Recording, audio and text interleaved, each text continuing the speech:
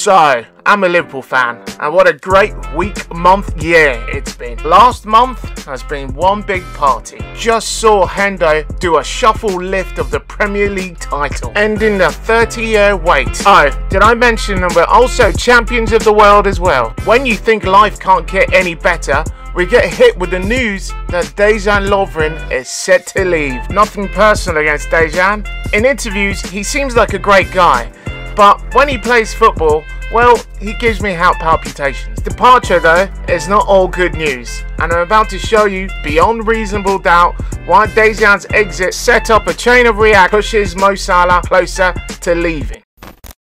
Dejan Lovren moving over to Zenit for close to 11 million was a story broken by Paul Joyce. Pretty reputable, as opposed to some of the clickbait superstars that have people believing that Thiago Alcantara set to join Liverpool imminently even though Liverpool have no interest. Fair to say, just like all Liverpool fans, I was pretty happy when I heard the news that Dejan was set to leave. He's had some great moments, Dortmund coming to mind, but he seems to have way too many not so good moments. I was in Wembley in 2017, where after being destroyed for 31 minutes, Jurgen Klopp decided to do the honourable thing and withdraw him. 1v1 battles against Yannick Bolasie also come to mind. In general, Lovren does really well against a traditional number 9 like a Lukaku. However, when faced with an intelligent striker such as a Harry Kane or a skillful winger, well, Lovren seems to come up short. So, all in all, his departure sounds like good news. Well, here's where it becomes bittersweet. Less than 24 hours after we received that bombshell about Lovren being set to leave,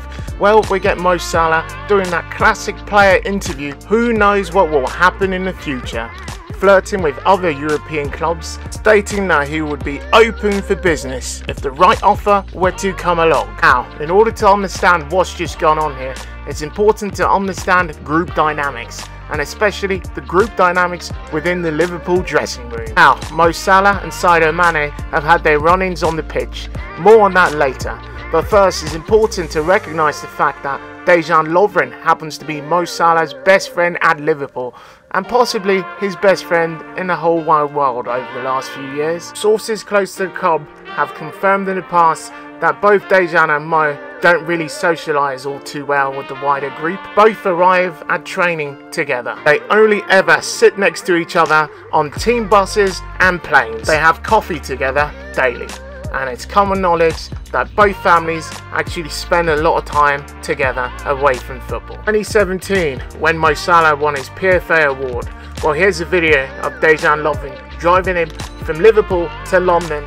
The awards finished pretty late and he drives him back quite late. Lovren is a pretty big part of Salah's Anfield life. Despite there being no animosity in the dressing room, there's a certain tension in the dressing room when it comes to Mane and Salah. Mane has a pretty good relationship with the Brazilian contingent, especially Roberto Firmino and his best friend Naby Keita is someone who he shared a room with whilst they spent their time at Salzburg. In fact, Mane is so popular that he shares a good relationship with pretty much everyone in the squad. This coupled with the fact that Salah's style of play is pretty direct, well selfish, depending on how you want to look at it.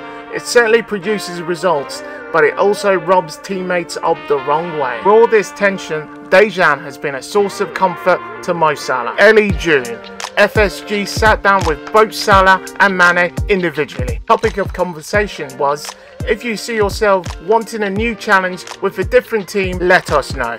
And we'll be happy to accommodate as long as we're given time to find adequate replacements, because we will not be forced into any surefire sale. What Salah's response to FSG in the meeting is uncertain. The two things we can confirm is that Mo Salah has started flirting with European clubs as if the right offer came along, he might certainly be up for a new challenge. And the second thing we can confirm is that after the departure of Dejan Lovren, life in Anfield for Mo Salah will certainly not be the same again. After all of that, I'd love to know if you still think Dejan Lovren's move is good news, or if it's bittersweet for yourself.